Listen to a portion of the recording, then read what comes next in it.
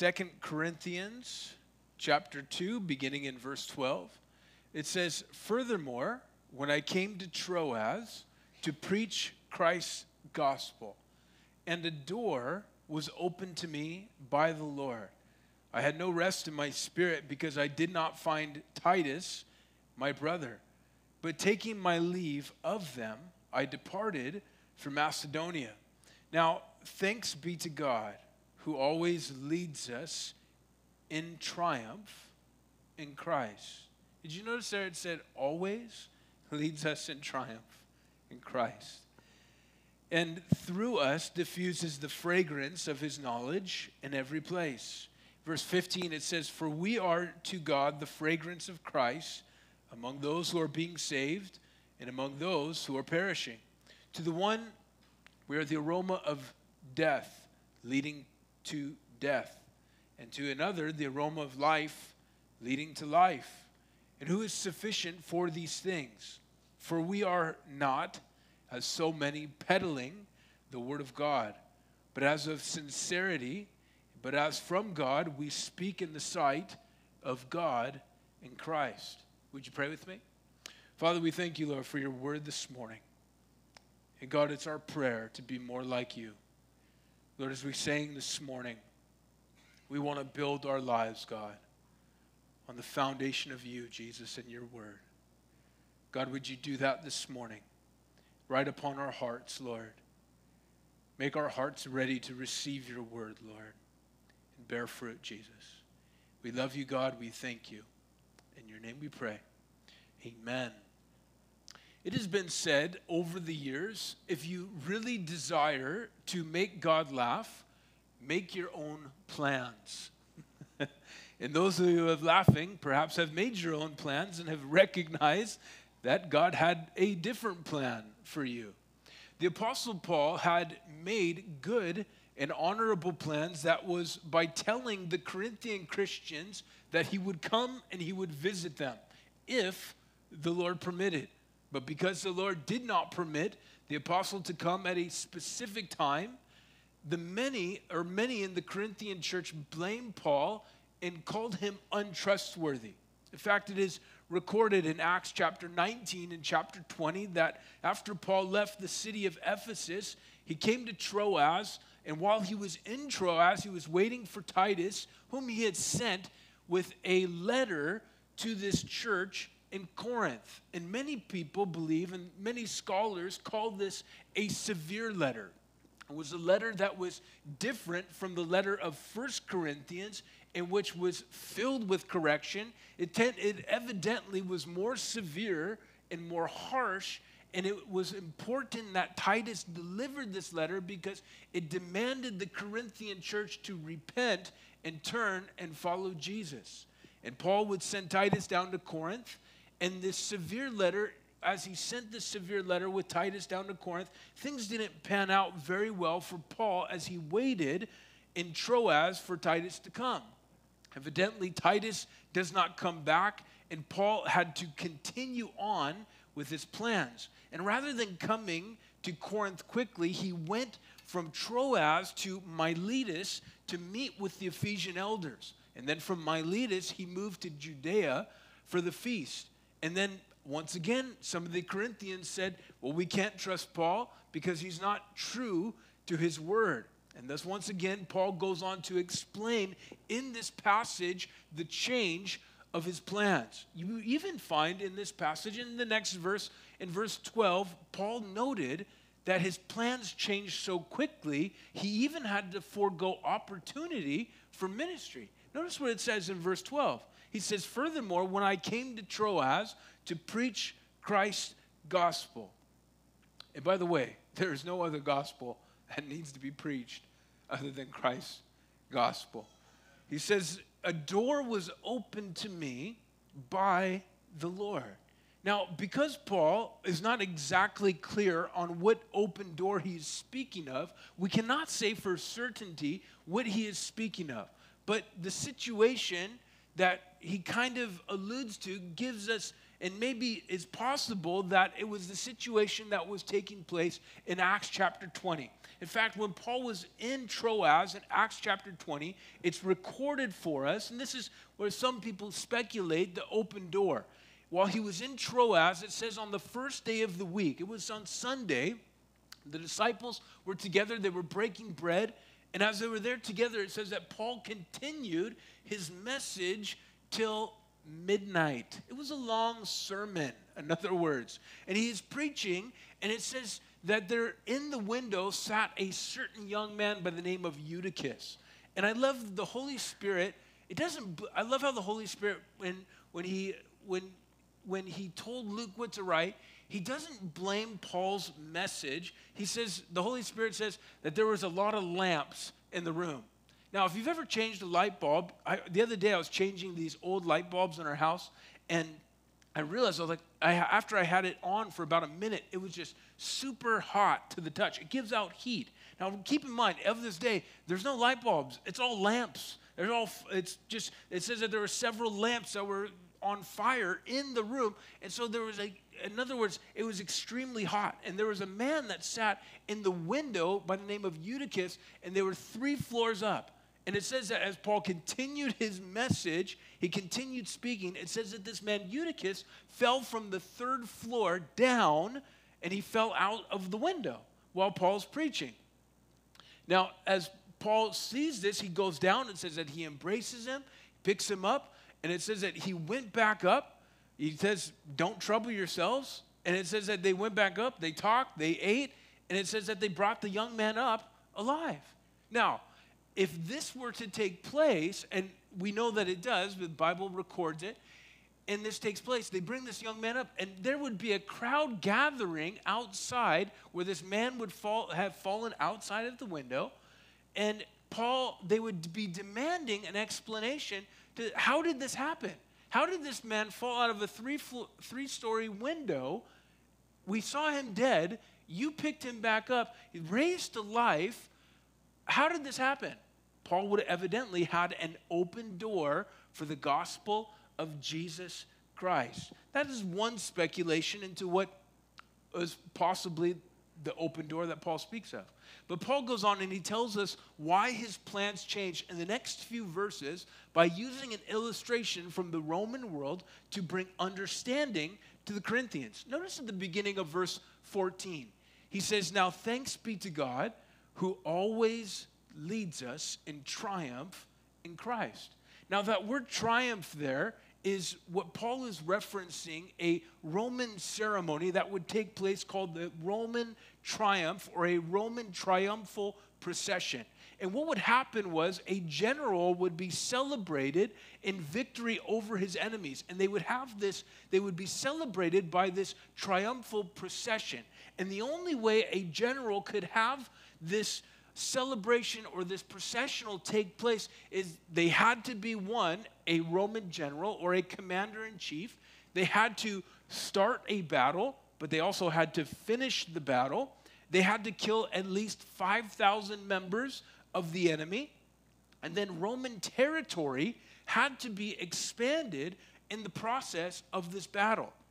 And then when they would arrive back in Rome, they would throw this huge processional called a Roman processional, in which they would march down through the main corridor of the city, and then they would come and they would end at, the, at a place called the Circus Maximus. It was a huge sports facility. And within this processional, they had a very strict order. First would come the state officials and the Senate, and then they would come the trumpeters to let all the people know that this was taking place. And then they would carry in the spoils taken from the conquered land. And then, this get this, they would go, they would send people, they would send artists over and they would draw pictures and paintings of the land that they had conquered, and then they would send people to make models of the ships that they conquered or the citadels that they would conquer, and then they would carry those things in this Roman processional. After that, they would have a white bull for sacrifice, and then they would take and bring in the captives that they had taken, the princes, the leaders, the other generals, and then they would either be flung into prison or swiftly executed. And then would come more musicians alerting the people that this is an important part.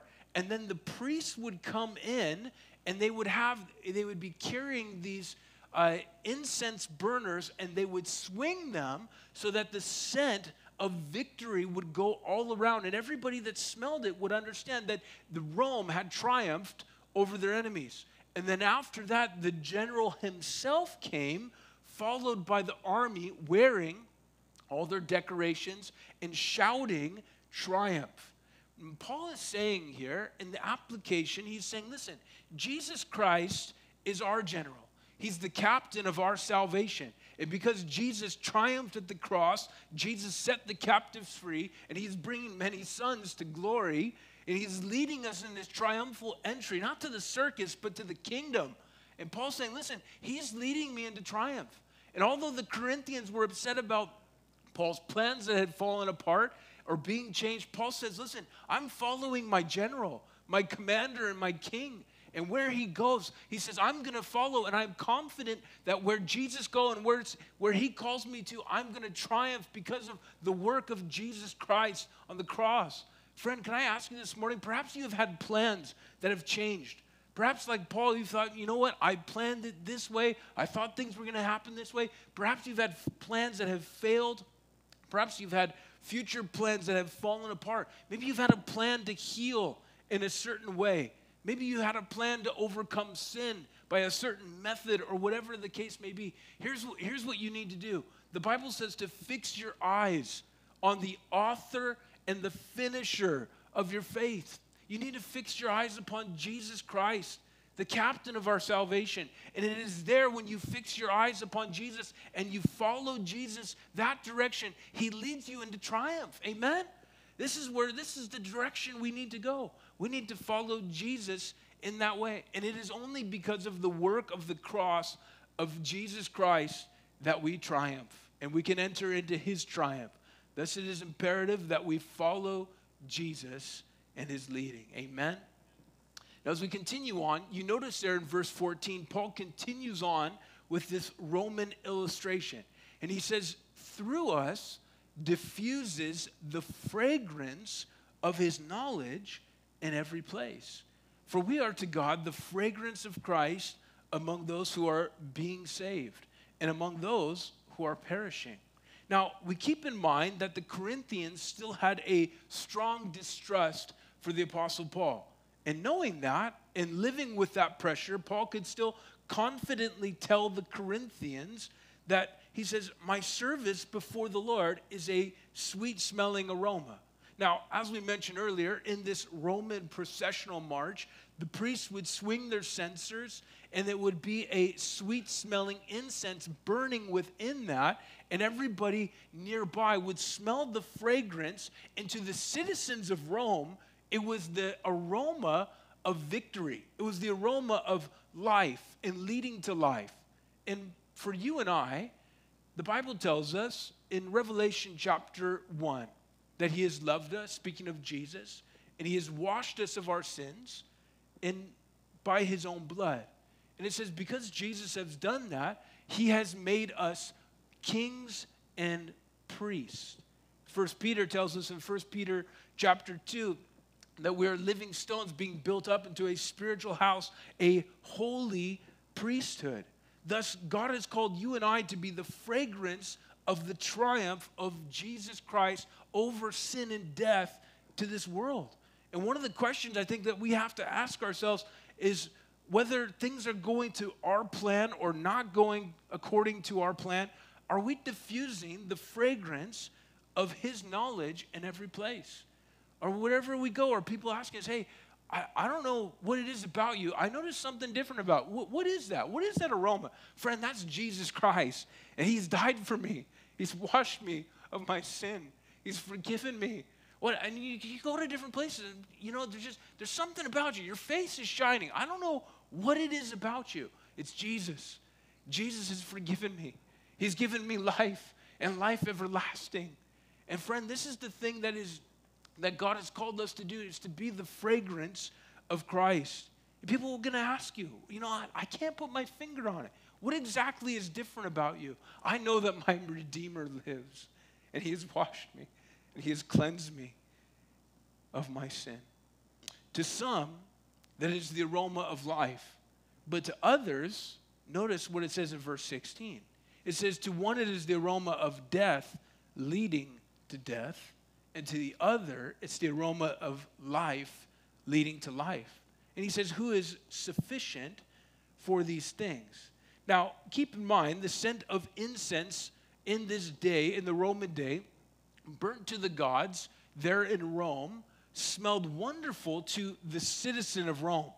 The same aroma was a awful smell to a captive prisoner of war in a parade who was soon to be executed or sold into slavery. And while the fragrance of Christ may be a wonderful smell to the citizen of heaven, to someone who has rejected Christ, it is the aroma of death. You know, there, you, may be, you may go to places and perhaps you go to family reunions. And you know, there's, this, there's one family member that's just somehow upset that you're a Christian. And they walk in with an attitude. You know, I, you know, I've been to family reunions where somebody walks in and just, all these Christians, just, they stink. All their joy and kindness and love. You know, you just they just and they develop a bad attitude about people being kind and loving and joyful, and you just they just they're just grumble. They sit in the corner, you know, and just and, and why is that? Because it's the aroma of death. And friend, maybe if if you if when you come into Christian circles and you're around people that are believers and all you can think about is the smell of death, perhaps that's your death sentence. Friend, you need to repent and you need to follow Jesus. Listen, the Bible says that if you continue to reject Jesus as your Lord and Savior, the, there is an eternity waiting for you after death in which you will be separated from the love of God in hell. But the wonderful news is that Jesus died for your sins, and if you bow your knee to the Savior, you repent of your sin, and you follow Jesus, He will give you life and life everlasting. And listen, I encourage you if you if this if you walk out and you're just like, man, only believers, the Bible says to examine yourself and see if you're in the faith. And you need to check and you need to ask the Lord. But listen, if you are continually willfully rejecting Jesus, listen, my encouragement to you is not to reject the love of God, but to accept the love of God and follow him. Now, as we continue on, Paul continues his defense and his reminder to these Corinthians that he was not untrustworthy. Notice what he says in verse 17. He says, For we are not as so many. Notice what he says, peddling the word of God. He says, but as of sincerity, but as of, or but as from God, we speak in the sight of God in Christ. Apparently, the Corinthians were still accusing Paul of peddling God's word in order to make a profit off of the word of God. You know, and you know, our minds immediately go to those infomercials that sometimes you've seen. You know, where there's somebody on there and they're trying to sell you their holy water. You know, for four easy payments of 9.95, you can have holy water that will heal you you know, or whatever. You know, I listen. We've I've seen it all. Holy hankies. Um, I've had people wave them at me, and I just like if you've used that, please don't wave that at me. You know, you don't need to. You, that's unnecessary. You know, and there's, you know, I you see these guys and they sell these holy wallets, and they just they say, you know, if you buy my wallet, the Lord will bless your finances, and the Lord's going to fill the wallet. And, and you, you laugh, but it's like, and I think to myself, if it really works, why, do you, why are you selling it to me? You know? Why do you need my 10 bucks for that? But it just, it is the reality of the world which we live in, and we have to be wise as serpents and gentle as doves. But Paul here says specifically that their accusation was against Paul peddling the Word of God. If you want to write in your margin there next to that word peddling, the actual translation is huckster. It was a huckster who would peddle the Word of God for profit. And I think it's interesting because the word peddling carries the idea of adulterating or watering down. Because oftentimes, what would happen would, would be is that a huckster or someone who would peddle, and it oftentimes would be used uh, for someone who would sell wine, what they would do is they would come and they would they would divide two bottles of or divide a bottle of wine into two different bottles, and then they would add water to the wine, watering down essentially. And essentially, this is what they were accusing Paul of doing. They say, "Hey, listen, he waters down the word of God for profit." Listen, there are a ton. There, listen, there are great churches in our city. And I want to be clear, I'm not I don't want to sound like a young pastor who's church bashing and you know that kind of a thing. Hear me out. That's not my goal here. There are great churches in our city that teach and preach the word of God, and we pray for them. We prayed for them this morning in our prayer meeting. But there are a ton of churches out there who are willing to water down the purity of the word of God for profit. Paul says, listen, that wasn't me. He says, I taught you the counsel. I went, I taught you the counsel of God. He says, I didn't, I didn't water down anything for you. I didn't, I didn't, nothing. He says, I went through the word of God. And oftentimes we see that where there are churches that will water down the word of God for cultural re- relevancy or sensitivity. They say we want to be sensitive to the speaker or to the seeker, which that means seeker sensitive. Uh, they don't want to make people uncomfortable. They don't want people to feel convicted. They have all these different reasons why they water down the word of God. And, you know, sometimes I hear, you know, I hear them, you know, they, someone will send me from another church and they'll send me their pastor's message and say, hey, can you listen to this and tell me what you think about this?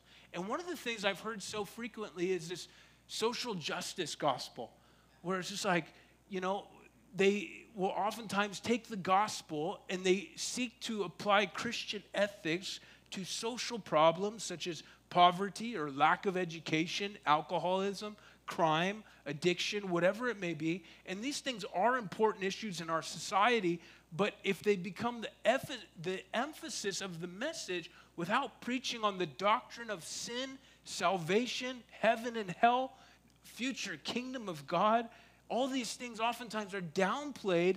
Listen, we're not truly preaching the gospel of Jesus Christ. Paul says there's only one gospel. He says, I preached to you the gospel and I didn't water down the word of God. He says, I went through it with you. And listen, we have to be careful. One of the things, and listen, this is my prayer as our church and for each one of us individually, as Paul would say to the Romans, he said, I'm not ashamed of the gospel of Jesus Christ because it is the power of God unto salvation. Friend, it's through the gospel of Jesus Christ, not the gospel of morality, not the gospel of social justice, all these different things. Listen, many of them are important, but listen, they pale in comparison to the gospel of Jesus Christ. I mean, we could we can feed the poor and listen, we can do all these things, but if we clothe them and they still go to hell, what profit is it? We need the gospel of Jesus Christ. Paul says that is the power of God unto salvation. Friend, there is a need in our day for churches to be ready in season and out of season to preach the word and share the message of Jesus Christ. That is the power of God. Amen. Now, as we move on, keep in mind that there, when Paul wrote this letter, there was no verse numbers or dividing chapter. Thus, we continue Paul's thought into chapter 3. Notice what it says in verse 1. He says, Do we begin again to commend ourselves? Or do we need, as some other epistles of commendation to you, or to the letters of commendation from you? Verse 2, he says, You are our epistle, you are our letter, written in our hearts, known and read by all men. Clearly, you are an epistle of Christ, ministered by us, written not with ink, but by the Spirit of the living God. Not on tablets of stone, but of tablets of flesh, that is of the heart.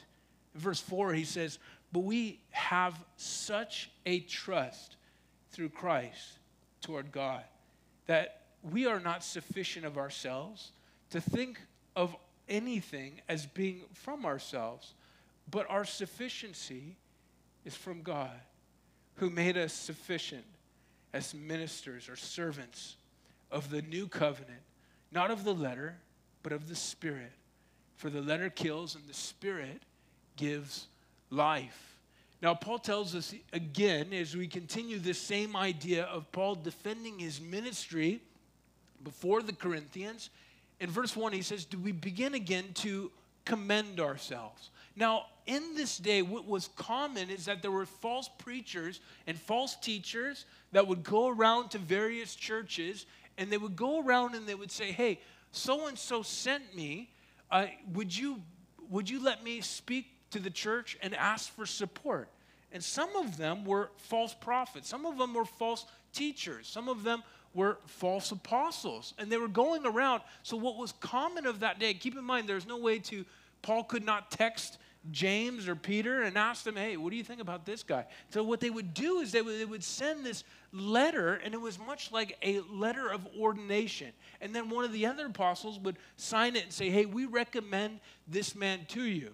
And Paul essentially says, listen, they were paul they, the corinthians were saying hey paul do you have a letter of recommendation?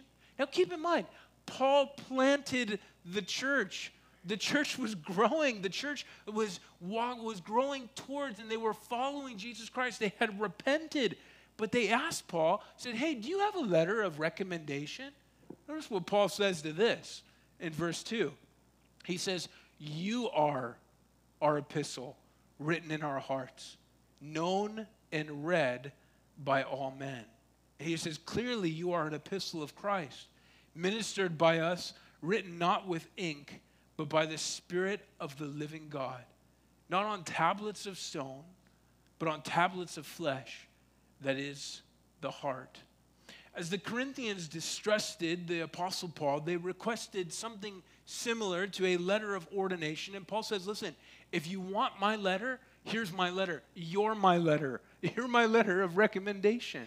And he says, My letter of recommendation, he says, it's not written in ink on tablets or on paper. He says, it's written by the Spirit of God upon your hearts. And one of the things I think this verse teaches us when we look at it is the impact and the full force of the power that is unleashed when the purity of the Word of God is preached and not watered down.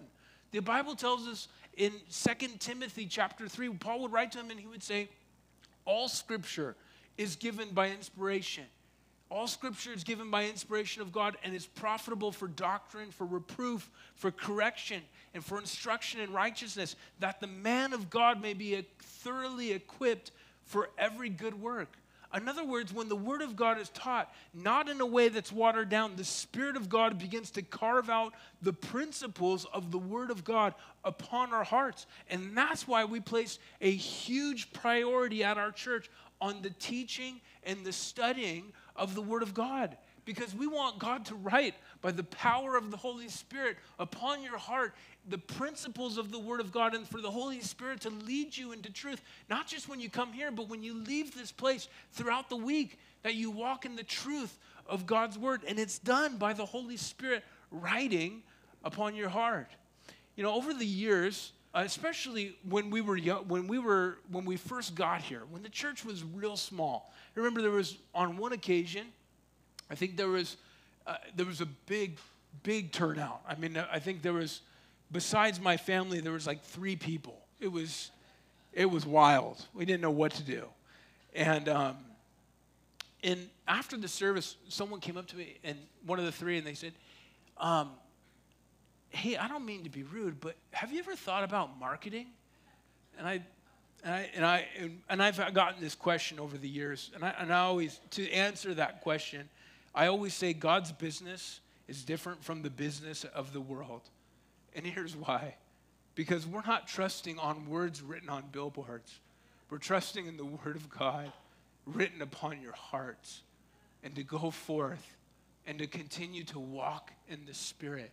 And so when someone says, Hey, how did, what changed in your life? I, I've been going to this church where they teach the Word of God. It's not watered down. They preach the gospel message.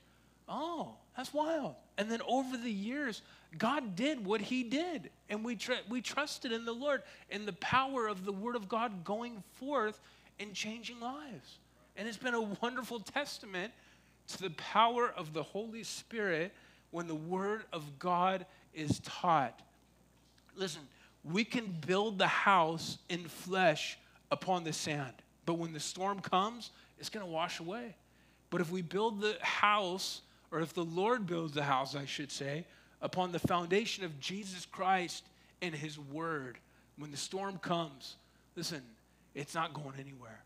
And that's our prayer, is that the Lord would continue to build upon the build his house upon the foundation of Jesus Christ and his word. Now, as we finish up here in verse 4, it says, We have seen such trust, or sorry, and we have such trust through Christ toward God. In verse 5, he says, Not that we are sufficient of ourselves to think of anything as being from ourselves, but our sufficiency is from God. He says, Who has made us sufficient ministers of the new covenant, not of the letter, but of the Spirit. For the letter kills, and the Spirit gives life. Even though the Apostle Paul planted the church and aided in the spiritual growth of the church, the church was still in a, or the church was in a sense a letter of authenticating Paul's apostleship and his ministry. But Paul recognized it was ultimately the Lord who did the work. There's an old saying that says, Give credit where credit is due. And this is exactly what the Apostle Paul was doing in describing the effect of changed lives in the Corinthian church through his ministry. He says, Listen, I may have come and I may have planted the church, but ultimately it was the Lord Jesus Christ. Listen, I came and I taught the Word of God, but it was Jesus. Jesus is the one in which our sufficiency is. Jesus is the one who my source is. And listen, there's a lot of people that do a lot of things here. They minister, they serve, and I'm so thankful. And look, there's the important thing is that we recognize that it's a work of God. It's Jesus. Our sufficiency is in Jesus. It's all about Jesus. He's our source. You notice there in verse 6, Paul says, He has made us sufficient as servants or ministers of the new covenant. You remember when Jesus instituted communion, he said, This is my body that was broken for you. And he took the bread and he broke it. And it was after that he passed the cup. And he says, This is the cup of the new covenant. And you remember when he did that, he says, This is, this is the cup of the new covenant in my blood. And I think the thing that we must remember as we come to this passage is the fact that our sufficiency is in the blood of Jesus Christ. Apart from the blood, apart from Jesus, we can do nothing. Jesus said, Abide in me, for without me you can do nothing. And this morning we want to remember that in communion. We want to remember the sufficiency that Jesus offers each one of us because of the blood of Jesus Christ. I was thinking the other day how many times over the years I've come and I've said, Lord, I can't do this. I don't know how I'm going to do this. This is a task that I YouTube tutorials don't even cover this. How does this how are you going to do this? And I'm always reminded Paul would say to the Corinthians later, My grace is sufficient for you. In, in my weakness, his strength is made perfect. And maybe you've come this morning, you've thought, I don't know how I'm going to move forward. I don't know how the Lord's going to conquer this. I don't see, I know the Lord triumph, but I don't know how he's going to lead me into triumph. This is where we start. Remembering the broken body of Jesus, remembering the blood of Jesus Christ that he offers to each one of us. And as I was thinking about that over the years, every time I've prayed, Lord, I need you. God has always been faithful to provide what I needed. Every time. I think, Lord, I can't do this. I don't know how, I don't know. The Lord's faithfulness shows up every single time, and He is sufficient for us. Let's pray together. Father, we thank you.